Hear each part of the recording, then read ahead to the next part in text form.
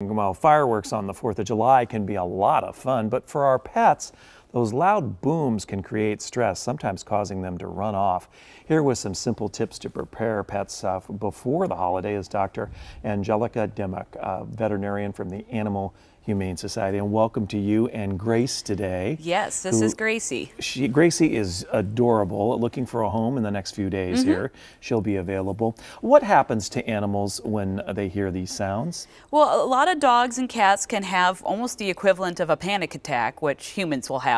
Um, so they can be pacing, barking, whimpering, hiding, uh, showing just scared scaredness and anxiety basically. You are here today to talk about ways uh, preemptively to, to make the animal calm.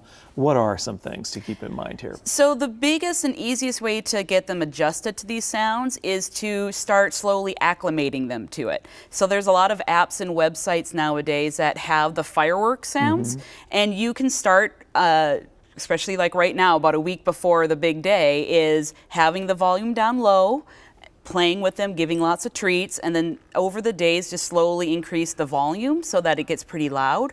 All the time giving them treats and making a really positive play experience, and that'll get them more acclimated to the to the big day. Uh, the, Gracie is wearing uh, something called Thunder Patch here. Uh, what is that? What does that do? So this is a, a shirt that uh, kind of gives it's kind of a little tight on them and mm. it gives them like a feel of like a hug.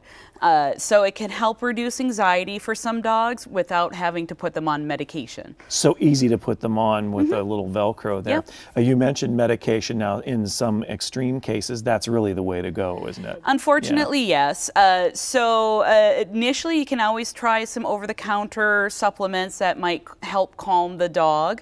Uh, just try them out several days in advance to see if they work. If, uh, if that doesn't work, you can always try putting them in an interior room without windows and having like calming music mm -hmm. on.